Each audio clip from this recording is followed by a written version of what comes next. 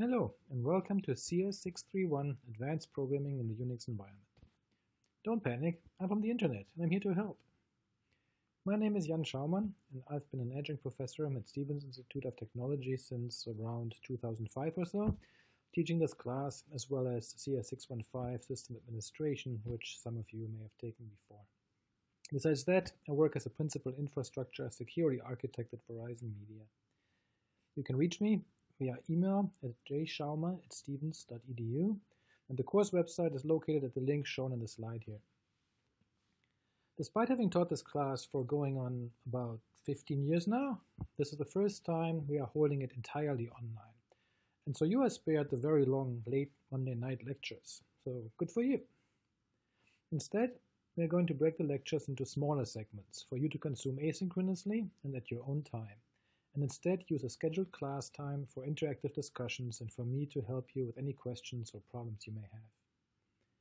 This online lecture today summarizes the class. We discuss what we will cover, how we will work, what the syllabus looks like, and what resources you should bookmark.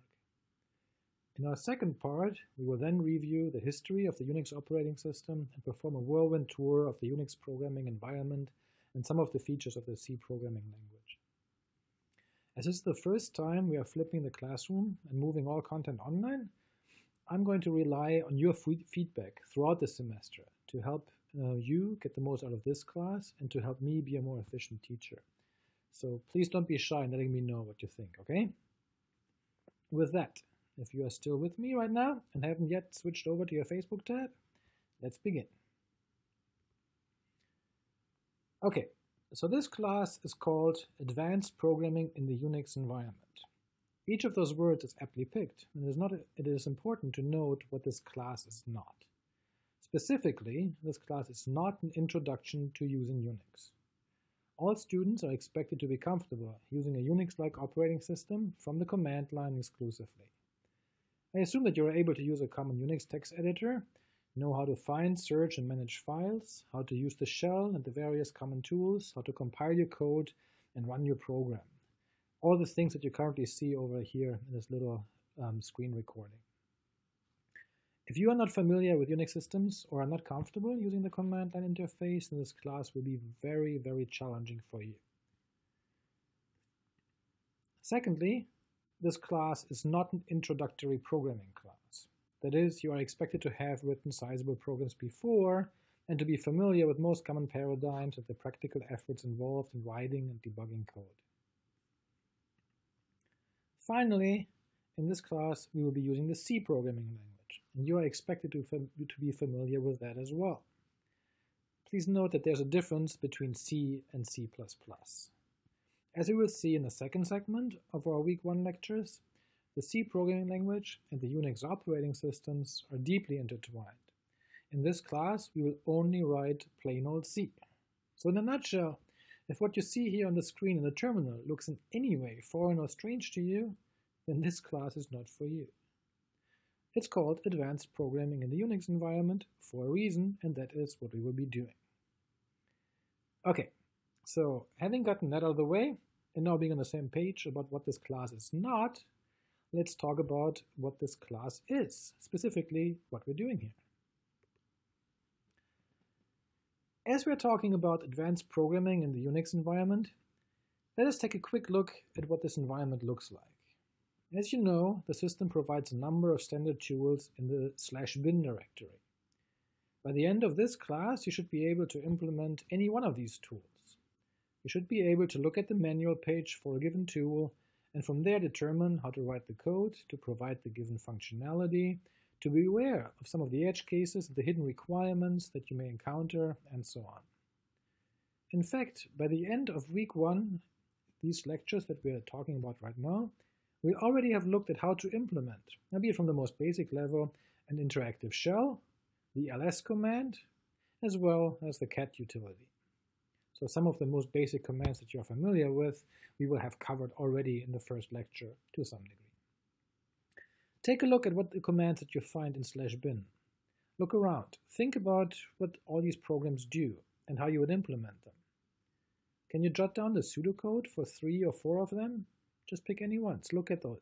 You have the date command, you have the df command, perhaps the tar command or the mv command. Those are all commands that you use day in and day out, and you should be able to have an idea, to come up with an idea of how you implement them. If you're not familiar with any of these commands you see here, take note and look them up later on. Remember that our Unix system comes with detailed manual pages for each of the provided commands. But this class goes beyond just the command line utilities that we use day to day, as useful and interesting as that is. In addition, we will be looking at inter-process communications and even some network programming in a client-server model. What you see here on the screen right now are most of the network library functions needed to implement communications across the internet between hosts, to listen on a socket, to accept connections, to send and receive data. Note that all of these functions are operating on an integer file descriptor, thereby providing a simple, flexible, and consistent API. We'll talk a whole lot more about this in future lectures. So what are we doing in this class? Obviously, we will be performing some programming in the Unix environment, hence the name. But as so often in academia, the outcomes and lessons of a class go well beyond just the practical tasks performed. That is, we are going to specifically look into gaining an understanding of the Unix operating systems from a programmer's perspective. We are also looking to gain systems programming experience. Programming on the systems level is somewhat different from programming on, for example, the kernel level, from programming in embedded environments, or from programming mobile apps or databases. We will be using the Unix environment as well as understanding how it is implemented, how we can write tools for and within the Unix environment. In so doing, we will further gain a deeper understanding of a number of fundamental operating system concepts. Even though we are focusing on the Unix family, these concepts will still translate to other operating system families as well. Many of you will already have some familiarity with these concepts, but I believe that all of you will find us revisiting these concepts in class will strengthen your understanding and deepen your knowledge.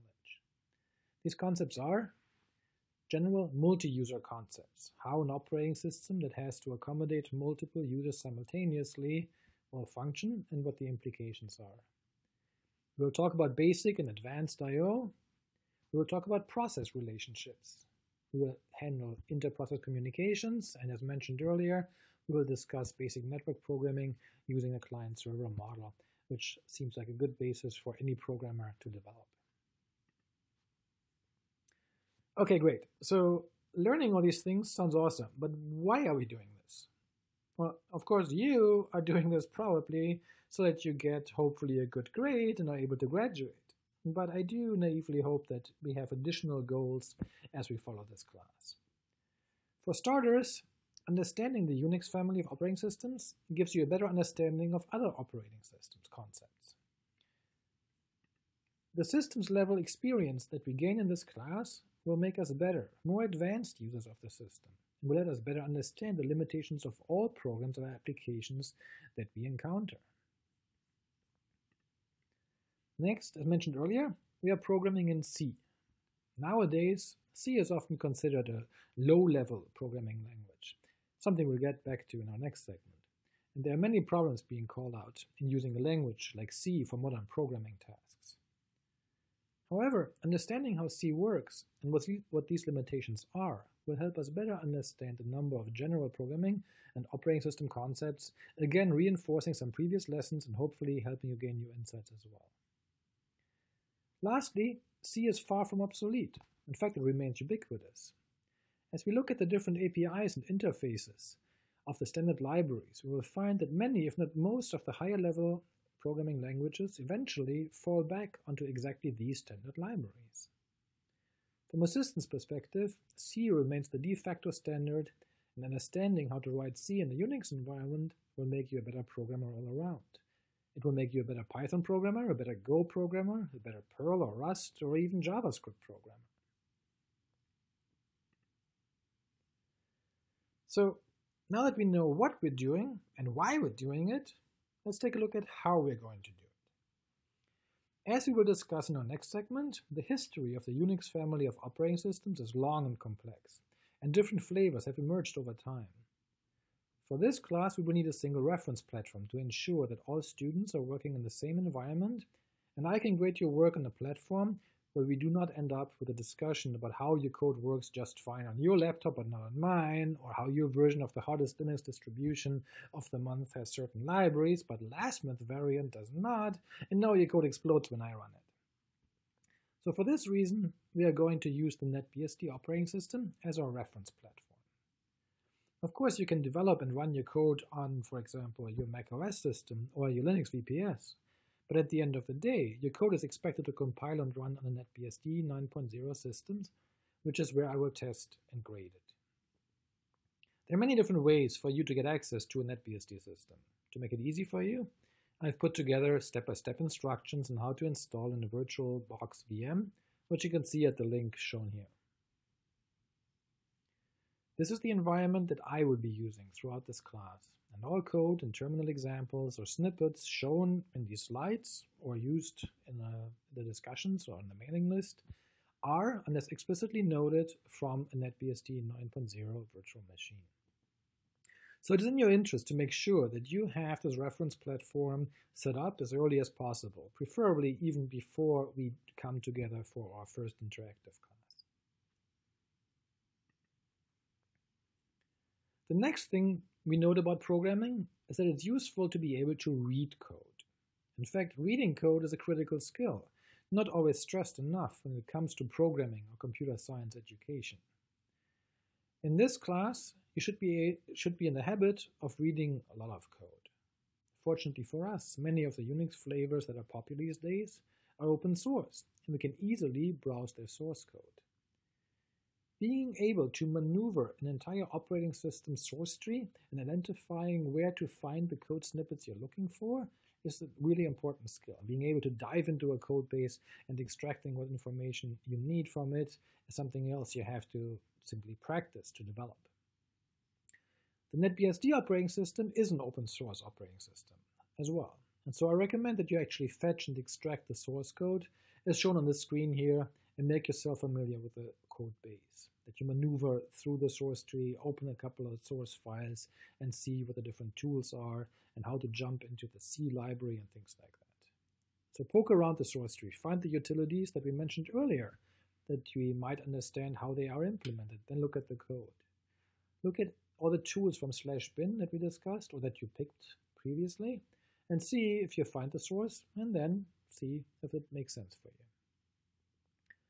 Another interesting thing to do is compare how different systems have implemented the same tools. Consider that all the Unix systems come with a whole bunch of tools that are more or less the same, or at least they're very similar across the different platforms.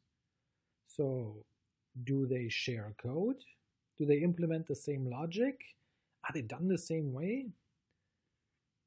On the website, there's a recommended exercise that is over here in the slides linked at the bottom to give you a hint of how to compare the different code bases of three different open source operating systems. Maybe take a look at that and see if that makes sense to you. Now, obviously reading code is only one part.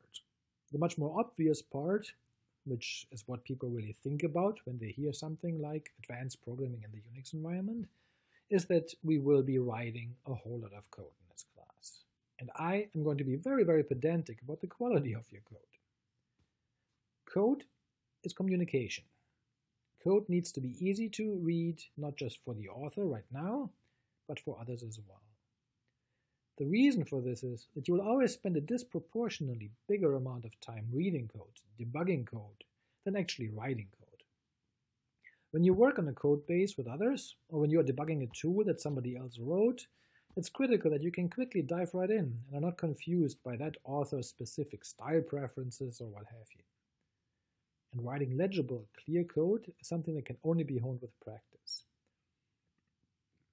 So for every assignment and all the code you write in this class, let's make sure that it is clearly structured. Your code should be well separated, compartmentalized, split into functions and different modules as makes sense to actually provide a decent structure that is easy to discern. The code needs to be well formatted with appropriate line breaks and white space used consistently. We want to use a very specific consistent coding style. Different people have different preferences about where they place their braces, how they indent things, but if you are working with other people, you all have to agree on one style, and it may not always be the style that you wish or that would be your preference. So we are going to use a specific coding style, linked later on, that I will be enforcing for all assignments. Make sure that you use meaningful names when you are declaring variables, when you're using functions or objects, that those are named descriptively and intuitively named. And remember that vowels don't cost extra as we name things. For some reason, programmers seem to eschew variables, um, vowels and variable names, etc. Make sure that you can fluently read the code. Another thing we will be focusing on is providing comments that we are only using when they're necessary. One of the things that a lot of computer science students learn early on is that every line of code must be commented. And rather than that, I think it's important to keep in mind that as you're reading code and as you're reading comments, you're context switching. You're switching from one language to another. You're switching from the machine language, the programming language, to another language. Oftentimes that's English, and that may not even be your native language. So you have even another context switch there, right? So make sure that we are reducing the context switching for the person reading the code and optimize for legibility and readability of the code by itself. And we are focusing on really only providing comments that explain why you're doing something, not how you're doing it. We have a coding style guide linked over here at the bottom of this uh, slide at this particular link.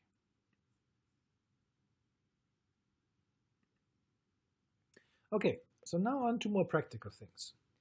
Since this is a university class and you're paying a lot of money in tuition, we are going to have to give you a grade at the end of the semester.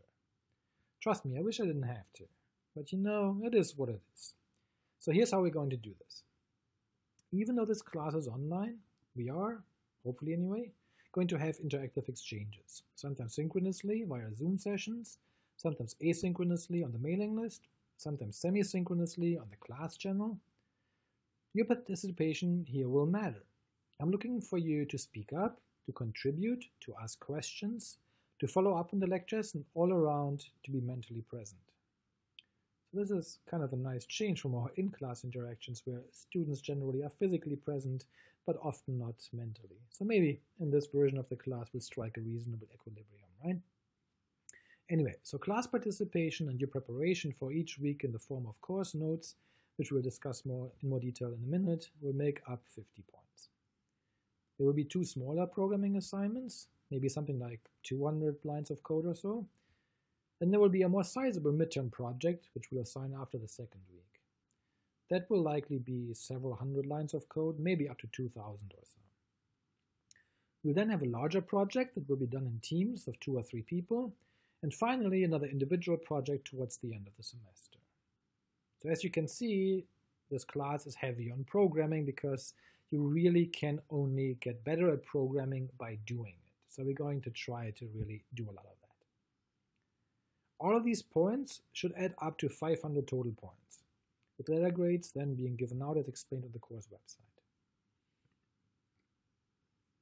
As I mentioned, your course participation will in part be evaluated based on the course notes you take. This is something that I found to be useful to help students come to class prepared, to help guide them throughout the semester. So here's how we will do this. You should create a Git repository with a single text file for each lecture. Before each lecture, in that text file, you'll note what you've read before, what code exercises you've done, what questions you have. This should help you prepare for the class and then be able to ask these questions in class or on the mailing list to help you really gain understanding of what wasn't clear based on your reading or the preparation that you've done. After each lecture, I want you to go back. I want you to write down whether or not you found the answers to the questions that you had, or note anything that you learned that was of particular interest. But of course, oftentimes new questions come up as we go into the lectures. So you may want to write those down. You may want to see which questions you didn't get answered, right? So write those down so you can keep track of that. Afterwards, you can then follow up on the unanswered questions, either in class or on the mailing list. And at the end of the semester, you submit all your notes to me. And so the goal is for you to have a way to review your progress throughout the semester. As you can tell, if you're preparing for each class with beforehand work and then rework it afterwards, that should give you an idea of what you've accomplished each week. But at the same time, it will also give you an idea how much you've accomplished across the semester. Something that might not have made much sense in the second or third week may then become clearer towards the end of the semester. So use these notes to guide you to what questions to ask, what to seek clarification on, and what to share with your classmates. I'm going to review the notes at the end of the semester and then gauge your progress as well. So the more detailed your notes are, the easier it will be for me to give you credit here.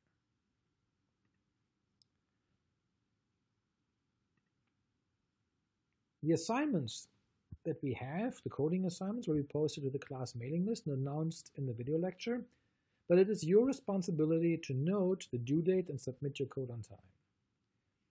I understand that especially at this time, many people have different obligations, and anything may come up that may derail your plans. If that happens, please come to me right away. I'm okay with granting an extension if circumstances require it, but I cannot grant an extension simply for poor time management and planning, where you come to me and say, oh, I started my assignment last night and it turns out it takes me longer than a few hours to actually complete it. Can I submit it late? That is not going to be a good um, excuse. The assignments that I give are generally given with sufficient time to complete them.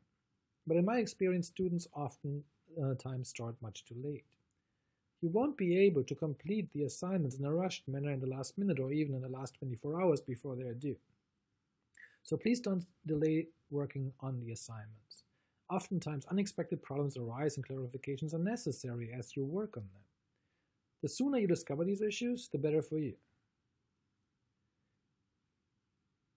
Given the circumstances and trying to adopt to a new online syllabus, I'm also changing another important aspect of this class.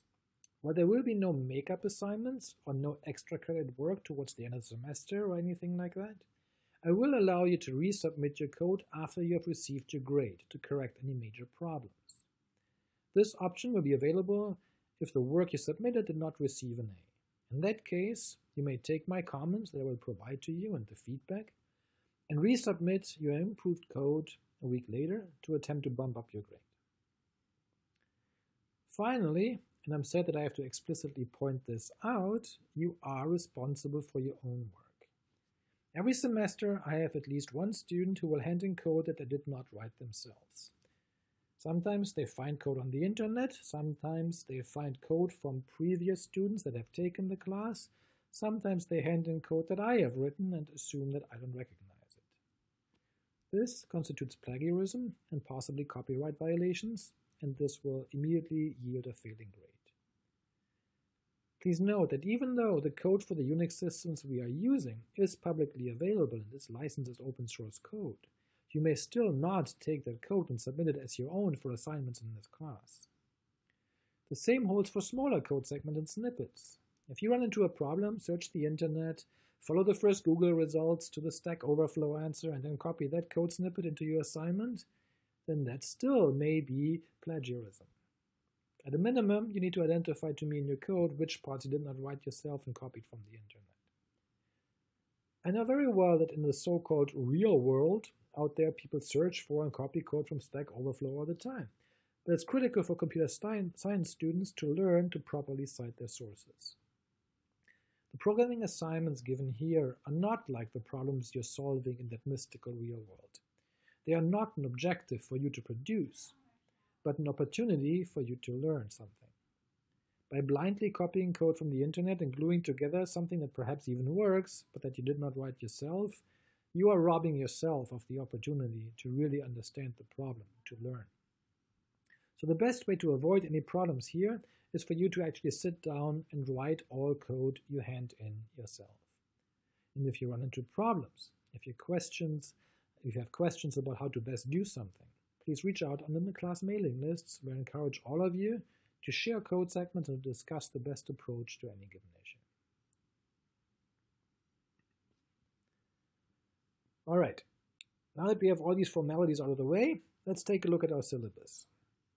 We will by and large follow the outline of the course book, although we will also throw in a lecture on using the Unix environment in an efficient manner. Other than that, I hope that you will find a certain progression in the topics we'll cover. We'll begin with local file I.O. and file systems, then take a look at process relationships, move on to inter-process communication, and network programming before we round out our understanding of the system with a number of mixed and advanced topics. The order of the lectures may be subject to change. It all depends on how much time I find to put these lectures together and arrange them, but hopefully also based on interest and discussions in our class. Over here on this slide, I've put together the most important uh, course resources that by now you should have bookmarked already. The most critical one is, of course, the first link, right? It's the one that is the website for this class, the course website. It is linked to from the Stevens Canvas shell and remains authoritative for all information about the class. And please do note that there is no other information in the Stevens Canvas shell. Make sure that you refer to the course website for all materials that we have. The second most important part is the course mailing list, which will be our primary means of communication. I've subscribed all students who are currently enrolled in the class. If you are not subscribed, please do subscribe yourself using the stevens.edu email address. I can't and won't accept any other addresses on this mailing list. The mailing list is a discussion list, not an announcement-only list. I will send announcements there, sure, but I expect you to participate in discussions on the list. If you have a question and seek clarification about anything, please send a mail to the mailing list. If you send it to me in private, chances are that I will reply saying, please send your question to the class mailing list. So save yourself that round trip. The only time you should email me off list is if you're referring to your grades or any other personal circumstances. Any generic questions should go to the list. The reason for this is that it's quite likely that if you have a question, that other students would also benefit from an answer or clarification. So please don't be shy. Also, do not rely on me to respond to every question you see in the class mailing lists. If you know the answer, or you think you do, please reply on the list. If you come across an interesting link relevant to the class in general, or a specific topic in particular, please share it. I'm actually looking actively for your interactions on the list. I've also set up a Slack channel for this class and have invited all registered students to join. If you have not received an invite, please email me and I will add you. The Slack channel is intended to let us discuss anything, well, semi-synchronously. You may share links, post questions, or engage in code analysis or comparison at any time. However, while the mailing list is mandatory reading, the Slack channel is optional for you. That is, announcements of any importance will be sent to the mailing list, but I hope that we can enjoy chatting a little bit less formally on Slack as time permits. I myself will peek into the Slack channel every so often, but you shouldn't expect me to immediately respond right away to any question you may have there. Finally, the last link shown here goes to the course YouTube channel, where I will upload these video lectures um, like this as soon as I finish them for each week. Um, I will likely post an announcement to the list when new material is there, but you can also, of course, subscribe there. All right, looks like we're going to um, reach the end of the first segment. So let's take a look at a recap of what homework you have in order to get the most out of this class. And I want to stress that the homework that I expect you to complete really is primarily intended to guide you to learn and to get the best and the most experience out of this class. That is, in effect, I'm looking for you to do prep work that relates to the course notes that we discussed, and something that I expect any good student to already be in the habit of.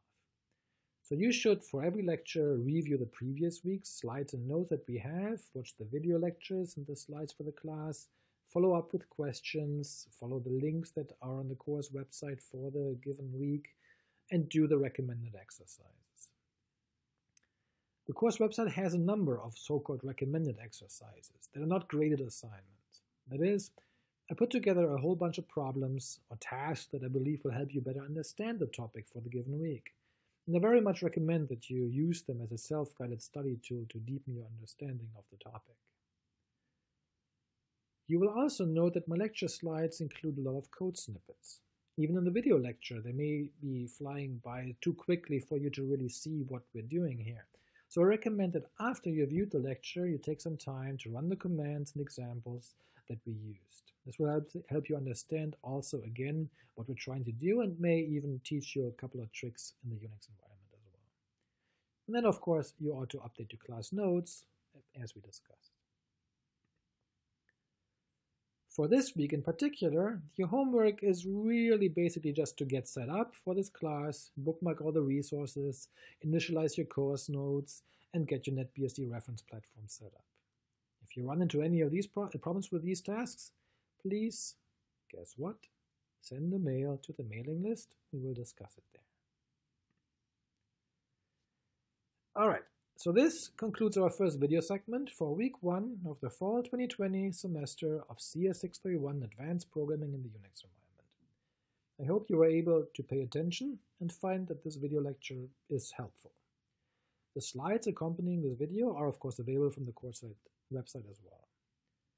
In our next web segment, we'll cover the Unix history and take a look at some of the basics of the Unix programming environment and important features of the C programming language, which, as you know, can be a little bit fickle.